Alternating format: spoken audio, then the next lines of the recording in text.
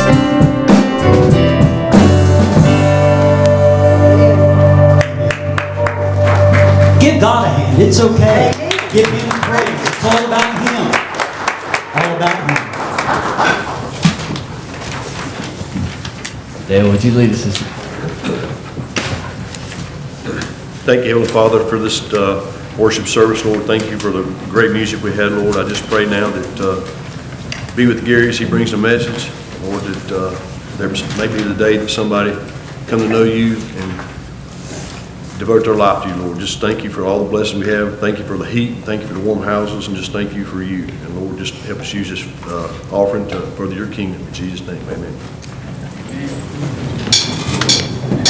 amen.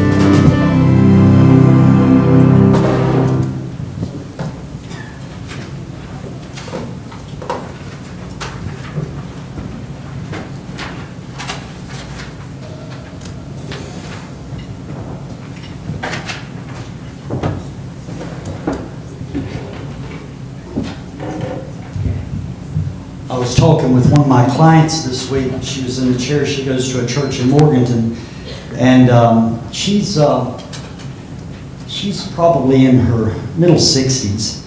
And I always ask people. I said, um, "What? Tell me about your church. Tell me about your worship service." And uh, pretty much what they do at their church, we pretty much do here. We, we do a lot of singing, and, and that's what she said. She said, "Oh, we sing, and then we sing, and then we sing some more, and we sing a lot." And I said, uh, "But the, the pastor gets to preach, right?" She said, "Oh yeah, finally when we're done singing." And um, I said, uh, "So do you like the music?" And she said, "Oh no." She she said, uh, "We do way too much of those repetition songs." And I said, "Well, uh, tell you what." I said, uh, you, you might want to think about something sometime. When you're in worship, you know, you're, you're attending your church, and you think about those songs that uh, repeat themselves. Uh, not all the time, but a lot of the time, they're straight from Scripture. So the more you do something, the more you get to know it. And anytime that we can take a song, especially when it has Scripture as a part of that, the body of tho- those lyrics, uh, we're just putting Scripture in, in, our, in our minds and in our hearts. And you know, the Bible, it, it instructs us to do just that. But she was complaining because of her feet and everything. Uh, you know, I don't like to do all that standing. So for this one, I'm going to let you sit down if you want to. But if you feel like standing and you want to sing this, in Christ alone, you know, when it gets to the section that says, On Christ the solid rock I stand, no all other ground is sinking sand. That gets me excited. I just have to stand up and, and sing. So uh, do what you want to do. If you, if you feel tired, don't feel bad about sitting down. But if you want to stand up and sing this, you go right ahead too. And here's your cue if you want to sing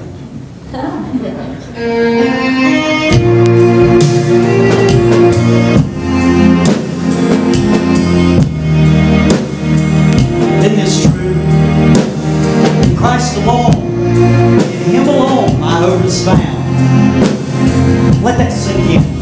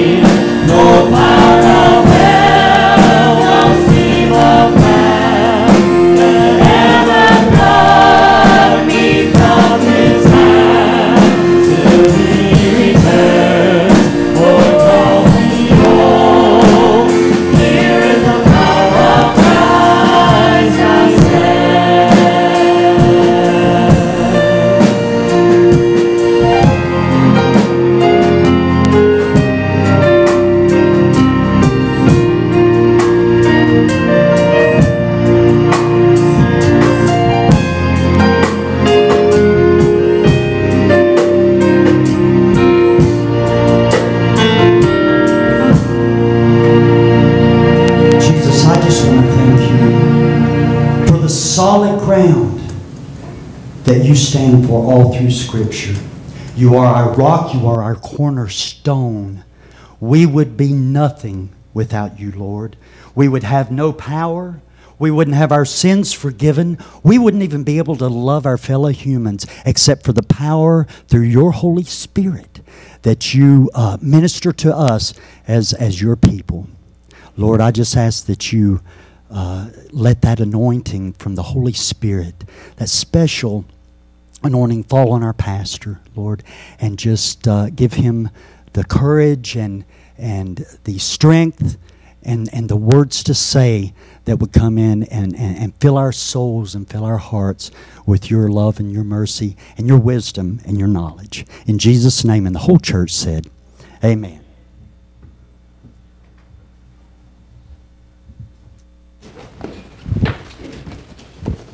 Hey, good job. Great. Good morning. It's a great job, guys. I, I appreciate that. A few weeks ago, we talked about the fact that, that God is working in, in each one of our lives. That He began the work, as David said, when you and I were in our respective mother's womb. And that He'll continue that work until we face Jesus face to face. In fact, the Apostle Paul tells us that God, part of what the Holy Spirit is doing in our life is to transform us into the very image of Christ. And that means that we're to become more and more like Jesus in all that we do. This morning, uh, I want to talk about how God does that, how He transforms us, how the Spirit of God helps us become more and more like Jesus. So I'm going to begin with a couple of truths. You'll find those in your uh, sermon notes. The first one is this it's very simple that God expects His children to grow. God's desire is that each of us grow or mature, if you want to put that there. But God expects us to, to grow, to mature, to become the people that He's created us to be. In 2 Peter 5 18, we find these words But grow in the grace and the knowledge of our Lord and Savior, Jesus Christ. And so we are to, to grow. Everything that God has grows, right? We're all growing. We're growing older. Some of us are growing wider. Some of us, we're not growing any taller. Well, some of us are growing taller, I guess. But, but we're always growing. Churches are to grow, and God's children are to grow in our understanding of Jesus, understanding of who God is, understanding of, of life and, and all that it brings. Here's the second point. There are different levels of maturity within the, the kingdom of God. There are different levels of maturity within the kingdom of God. Paul writes to the church in Corinth, and I, brethren, could not speak to you as spiritual people, but as carnal as to babes in Christ. According to the New King James, New American Standard says as fleshly people. And a carnal person is a person who is living by the desires of the flesh. We spent a whole Sunday talking about what that means to be the battle that goes on between the flesh and the spirit. But what it says, what amazes me about this passage, is that Paul doesn't challenge these people's salvation. He challenges their level of maturity. He said, You're acting just like the world. You're living just like everybody around you. You're not living as spiritual people who are empowered by the Spirit of God, but you're living as you used to live before you were saved. And so he, he doesn't challenge their salvation. He challenges their maturity. And so we have carnal Christians. Now, let me just say this up front. If you know someone's a carnal Christian, start praying for them. You don't want them to stay there at all. That's not a good place to be. You, there's, there's no evidence of fruit in their life. There's really no evidence that God's doing anything. They're the people who, who are never happy, never satisfied about anything. If you go back and look at the passage we did in Galatians, they're the ones that Paul described that are in the flesh. I'm not going to go over all that now, but, but just think about that. That is not a place that we want to be. Okay? There are some people there, uh, but that's not where we want to be. Now, he talks about babes in Christ. And he had to talk to them as babes in Christ. And when I think of a babe in Christ, just think about the infants that we have. Think about those in the nursery, some in here with us. And what happens with a babe? Well, babes are, are, they can't do anything for themselves, right? We have to feed them, we have to change them, we have to carry them everywhere we want them to go. There's nothing that they can do. Well, we know that in the society that we live in, that there are now three generations that have never been to church. And so we're going to have people coming in as we reach out to this community, and as we reach it, we're going to have some people that have no idea what happens in a sanctuary on Sunday mornings. They don't know anything about it. They don't know anything about God. Some of them have not even heard of Jesus. And so we're going to have to teach them everything. Those are babes in Christ. Then when we get into the Gospel of John, I'm sorry, in, in the letter, First John, John's letter, he talks about the fact that there are three more levels, and I'm going to read this to you. He said, I'm writing to you, little children, because your sins have been forgiven you for his name's sake. I am writing to you, fathers, because you know him who has been from the beginning. I am writing to you, young men, because you have overcome the evil one. I have written to you, little children, because you know the Father. I have written to you, fathers, because you know him who has been from the beginning. I have written to you, young men, because you are strong, and the word of God abides in you and you have overcome the evil one. So he gives us three more levels of maturity. He talks about children. Now, children, as we know, are they've matured from being babes. We don't have to carry them everywhere. They can do some things on their own. Sometimes they bathe themselves, they brush their teeth, they eat what we give them. We still have to look over them, though. We still have to supervise them. And there are people within the faith that are growing, they're maturing, but we still have to help them. We have to guide them. Uh, that's what we're here. That's part of disciple making, right? Is we're teaching them how to pray. We're teaching them how to study the Word of God. We're teaching them how to hear the voice of the Spirit as He speaks to us. We're teaching them all kinds of things about life. Then he talks about those who are young men. And, and, these are the guys that, that have, they're past the child age, and these are the guys that we see that are really on fire for God. They're young men and they're young women, and they're the guys that say, hey, let's go out and take this community. Hey, we got to be doing something. We can't just sit in the pew. That's not what we were made to do. We need to serve the Lord. We need to do it with gladness. We need to do it with joy. Hey, let's go storm the gates of hell because we're told that the gates can't prevail against us. And so they're excited. and they want to be on fire and they want to do things for the kingdom of God. And we need those people in the church as well. And then we have what he calls the fathers.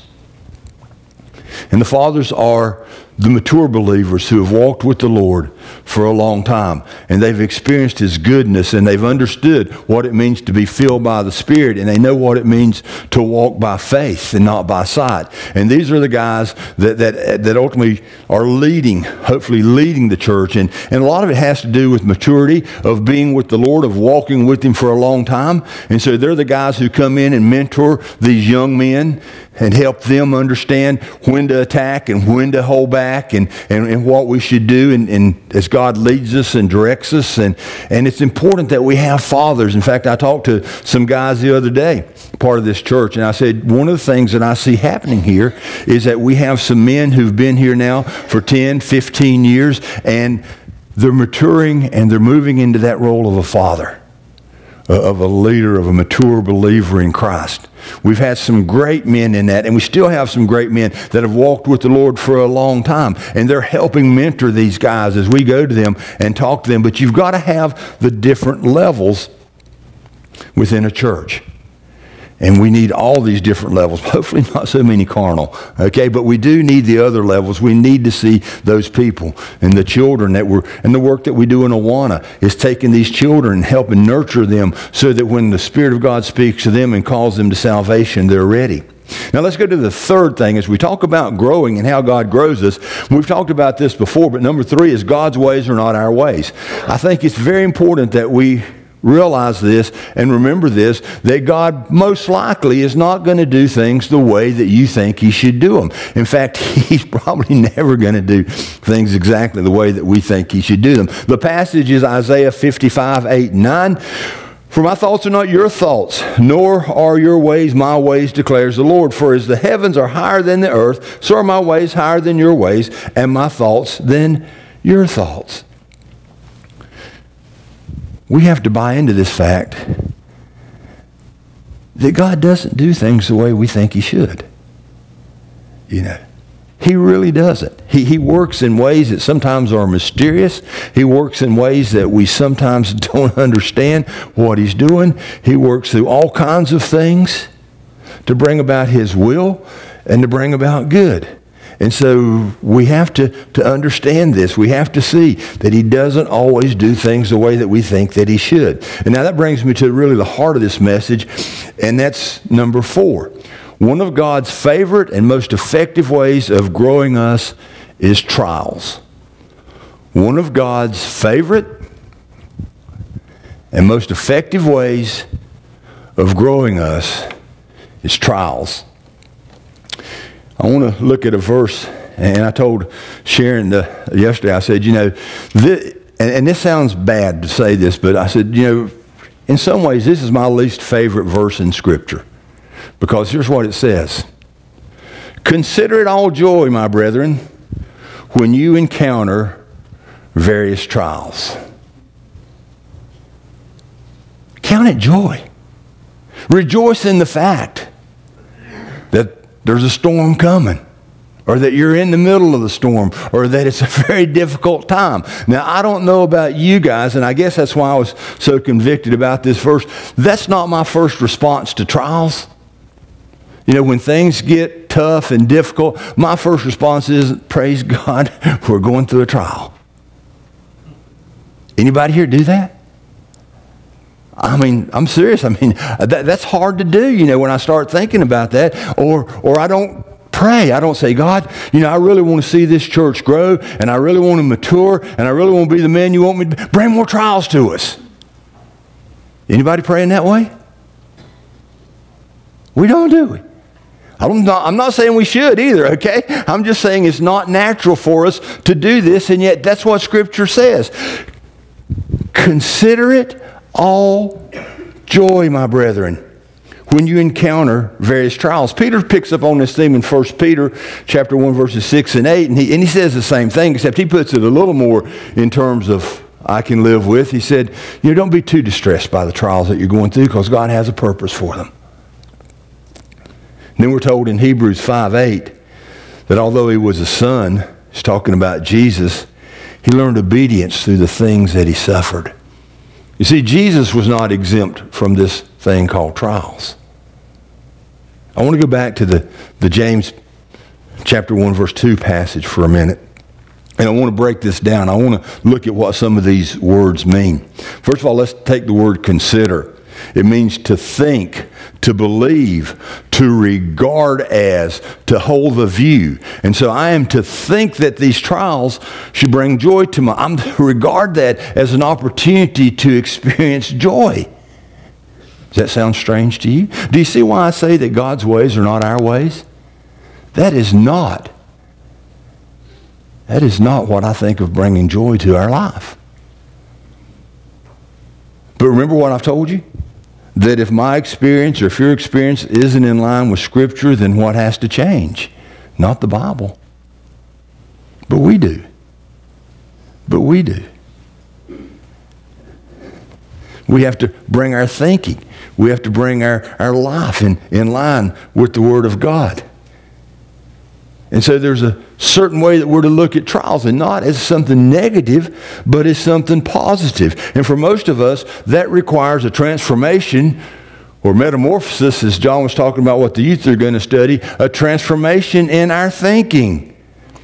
And Paul says in Romans, it takes a renewing of your mind. A renewing of your mind. Now let's talk about the word joy for a minute. Literally, it means a reason for gladness. So I am to consider or I am to regard these trials as a reason for gladness, not a cause of distress. What about that? Anybody there yet? This sense of being overwhelmed, this amount of stress that we have, whatever the situation is, whatever the storm is, whatever the trial is that we're going through, it is to be a considerate joy I don't think this can happen unless we're totally surrendered to the Holy Spirit. I'll be honest with you. And I think that's why this is part of this Holy Spirit. Now, the word trials Listen to what it means. To try to learn the nature or character of something by submitting such to and through extensive training. To try to learn the nature or character of something. What do you think that something is? It's you and it's me. We're, God's trying to show us the nature and the character of who we are, what He's building inside of us. And so He's bringing us through these difficult times to show us what we're made of. To show us that, that He's put in us everything that we need to live the life that He's called us to do. And so we're going to submit, He's going to bring us to extensive testing. He's going to try us. You know, He's going to see if we, He's going to show us that we really do have what it takes to be who God's called us to be. But it's not easy. It's not easy. He never promised that it would be easy. Jesus learned obedience through the things that he suffered. I think you and I do the same thing. I think we learn obedience to Christ. I think we learn to live the life that God's called us to live, oftentimes through the things that we've suffered. And so think of trials as, as God's training ground or, or maybe God's gym. I want to read a passage out of Isaiah now that I think is a, again, affirms what, what I'm saying to you. Isaiah 43, but now thus says the Lord your creator, O Jacob, and he who formed you, O Israel. So let me stop there for a minute. So God is speaking and he's identifying himself and he says, hey, look, I want you to know I'm the one who created you.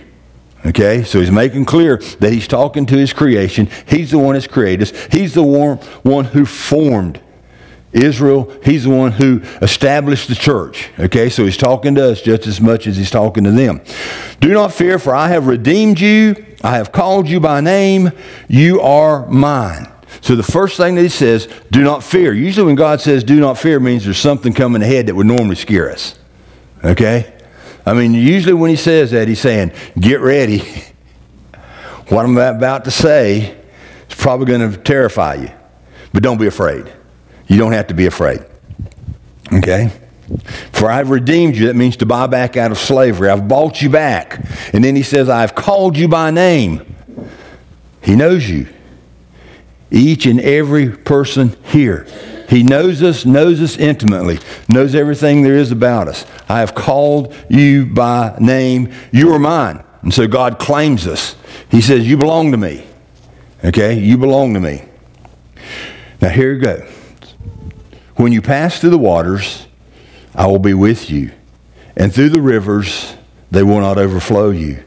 When you walk through the fire, you will not be scorched, nor will the flame burn you. For I am the Lord your God, the Holy One of Israel, your Savior. Now, does that not seem like trials? When you're going through the deep water and you can't touch the bottom, God says, I'm with you and you're not going to drown.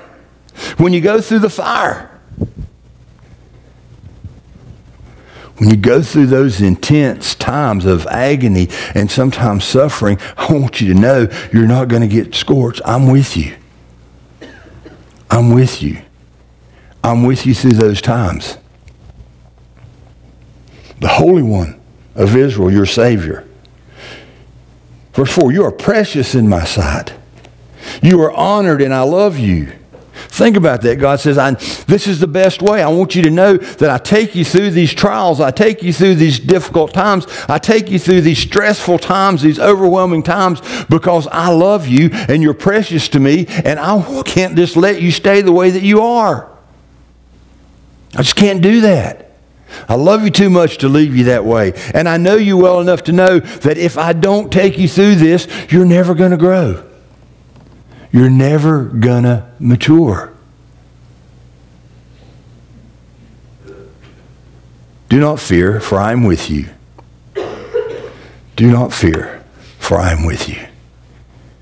Isn't it amazing? I had the opportunity to, to sit down with the uh, youth Wednesday night and just be a part of their study. And they, uh, they're doing a study with Colt McCoy. He was the quarterback for Texas for the, the Longhorns in 2010 when they went against Alabama for the national championship. And, they, and he tells the story of what it was like when in the first half he got hit and his shoulder uh, just went out on him and he couldn't play anymore. Now think about this guy. All his life, from Pop Warner all the way up to, to now, he's dreamed about this opportunity to play in a national championship game. And he said that he just felt like he knew exactly what Alabama's defense was going to do before they could do it, but he gets injured and he, and he can't play. He and his dad, during halftime, he tried to throw. And he said, I could not, I had no idea where the ball was going. I couldn't do it. And then he said something that, that really, really amazed me. He said, The greatest lessons I've learned in my life came through disappointment. Any amens there? Amen. You been there? You know what that's like? We do, don't we? We do. We know what it's like to suffer. We know what it's like to be overwhelmed. We know what it's like to say, God, help. We know what it's like to not know what to do, to have things out of our control when so terribly bad we want to control them. We know what that's like. And God says that's ordained so that I can show you who I am and what I'm about. Think about that. If we look at trials through the flesh, then we're going to become disappointed and disillusioned. But if we look at them through a mind transformed by the Holy Spirit, then we're going to see them for what they are opportunities to build our faith, which leads to greater opportunities to serve God in His kingdom. And that brings me to the fifth point. God is always working to develop strong faith in His children. God is always working to develop strong faith in his children. Galatians 3:11 The righteous man the righteous one shall live by faith. James says Consider all joy my brethren when you encounter various trials knowing that the testing of your faith produces endurance and let endurance have its perfect result so that you may be perfect and complete lacking nothing. Think about what he's saying there. It is through trials that character and great faith are forged. And Peter tells us that our faith is more precious than gold. And so God is in the process of developing in my heart, in your heart, this faith that can move mountains. This faith that trusts God no matter what's going on around us. He's wanting to do that. In Hebrews 11, 6, we're told, and without faith it is impossible to please him. For he who comes to God must believe that he is, and that he is a rewarder of those who seek him. And so here's the, here's the bottom line. Trials are ordained by God to produce faith in us that results in praise and glory and honor as Jesus is revealed in our lives. I want to tell you a short story. I was talking to someone recently, and I said, you know, the I've done a lot of things in my life. I worked in textiles for a short time. I worked in a lumber yard. I worked in furniture. I worked in county government, and I worked in state government. But what I do now is I still the hardest thing I've ever done. And if you've never had to preach sermon after sermon after sermon, 52 sermons or so 50 sermons a week, and, I mean a month and or a year, get it right in a minute, see, and then and then year after year, then you don't understand what it's like. But I, as I was working on this sermon, I just I just really wasn't happy with the way it was ending. In fact, I, I, told someone recently, I said, you know, this kind of series is very, very difficult because I'm talking about the flesh, and I know I'm going to do battle with the flesh that, that week. If I'm talking about Satan, then I know it's going to, those efforts are going to intensify. And, and you have to understand I'm not saying this for any reason other than it's true, but as a pastor and as a leader of a church that God is moving in, then I know that there's a bullseye on my front and back. I'm a target, and my family's a target. And as you're growing, you become even a bigger target. That's just life. That's the way that it is. And we need to understand that. It's true. I don't say much about it because I'm not looking for sympathy or empathy or anything like that. I'm just saying today that I sometimes you feel it more than you do other times. That's why prayer is so very important that we are surrounded in prayer. But as I was saying, I just didn't feel like this sermon I, I felt like it's what it needed to be, but I just did not have an ending that I felt this is really what God's saying to us. And so if I if I don't have other things I have to do on Fridays, then I try to clean the house a little bit, get some stuff done so it's easier for us on weekends. And, and, and God speaks to me sometimes in the most unusual times, the most unusual places. And I wasn't even thinking about this message Friday when, when and in fact, I was actually mopping the kitchen. And all of a sudden, I just decided I needed to, I pulled out a piece of paper because it just started pouring, and I believe it's from the Holy Spirit. But, and he knew that I wasn't, I didn't think we'd brought it home yet. I didn't think that we had nailed this to, that, that we can go out and say, okay, praise God, we can deal with trials. And so here's what I wrote down. When we learn to, to rejoice in trials, when we learn, I think we have to learn. I don't think it's something that comes natural. When we learn to rejoice in trials, then number one, we acknowledge in our heart that God is in control and is with us. And so we've got to get it from here down to here. You see, if I'm gonna if I'm gonna rejoice in trials, if, if when difficult times come, our first tendency is going to be to, to sometimes panic or feel overwhelmed or, or feel, I have no idea what to do. But if I can say, but God, you're in control and you're doing this for my good. You're allowing me to go through this thing, whether it's at work, at home, with family, with children, with health, whatever it is. God, you're allowing me to go through this because you're building my faith. Because as you said in Isaiah, that you love me, I'm precious to you, you honor me, and so I need to, I need to trust you through this. Okay? And so we begin to, to allow God to be sovereign in our heart.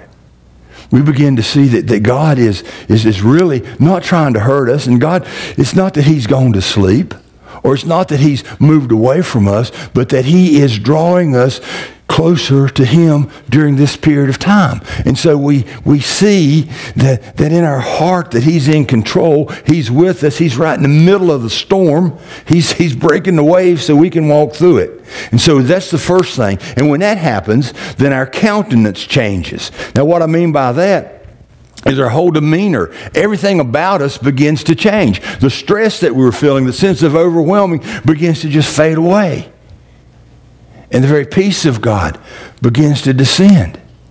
And, and our attitude changes, and we go from being victims to victors. Now, I don't know about you, but I would much rather be a victor than a victim. No matter what's happening in my life, I would rather find the victory that Christ has already won in that than to feel, poor, poor, pitiful me. Look what I'm going through. You see? And so our attitude changes because God is in control, because God loves you, because God is with you, because God believes in you, because God is taking you through this to make you stronger. Then your attitude changes about the trial. Why? Because God's in control of it. Who's going to control that trial? God, right? I'm certainly not going to control it, you know, but God is. And so when that happens, then here's number three we free the Holy Spirit to do his thing. We free the Holy Spirit. Now, think about what that means. We free the Holy Spirit to just unleash His power in our lives. You see, the Holy Spirit is then free to begin to make us those victors that we believe that we are. He's free to fill us with the, the very love of God, knowing that God is with us, that God is for us, that God believes in us. He's given us self control. And when that happens, we rejoice. And we find that this verse is not so crazy. That James was not out of his mind when he wrote this. But that when we surrender ourselves totally to the will of God, whatever comes, the Spirit of God produces in us what? Love, joy, peace, patience, kindness, goodness, faithfulness, gentleness, self control. He does all those things in our life when we yield to Him.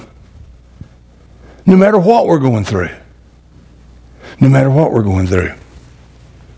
And so, when I wrote this ending down, then I started worshiping God. Because you cannot help but worship God when you free the Holy Spirit in your heart to do what He wants to do. And so I,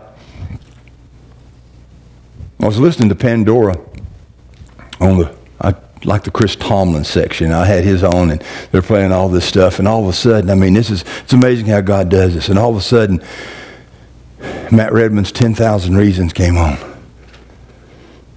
10,000 reasons to praise God. 10,000 reasons to bless God. 10,000 reasons, and more, and more. And so I, I got on my laptop and I sent Eddie and Eddie an email and I said, look, guys, here's what's happened. And I want to change this invitation. I want us to do this 10,000 reasons because I want to end this service not as a down service, but as a praise service. As a service in which we worship Almighty God, who no matter what we're going through, is able because there is nothing impossible with him. No matter what you're hap- what's happening in your life, no matter whether it's financial or whether it's relational or whether you're looking for a job and haven't found one, no matter what it is, God is in control. And so we're going to worship him. We're going to praise him.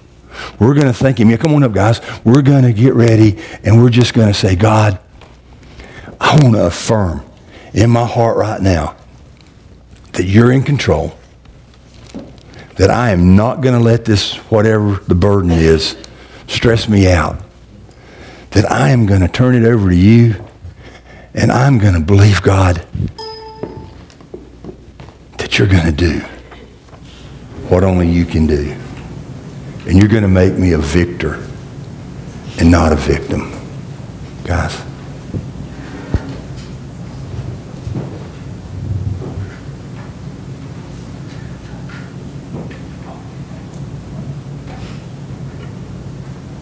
Bless the Lord, O my soul, and all that's within me. Bless his holy name.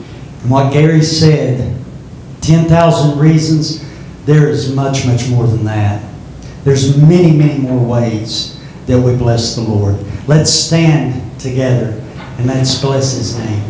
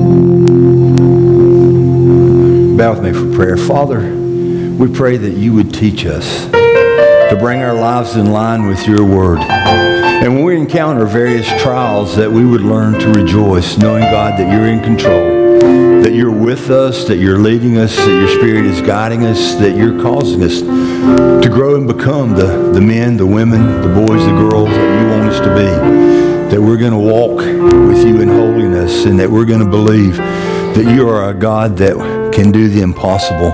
And so the only way we can know that is if you bring us to impossible situations. Father, I pray now for anybody that's a part of this congregation this morning, anyone that's watching, that if they're going through an impossible situation, that today they would know that they're not alone. That you're leading, you're guiding, and you're building faith. And that ultimately, Christ has already won the victory through the cross. And so we praise him, we bless you, we thank you. We offer our love and our worship to you. In Jesus' name and for his sake. And all God's people said.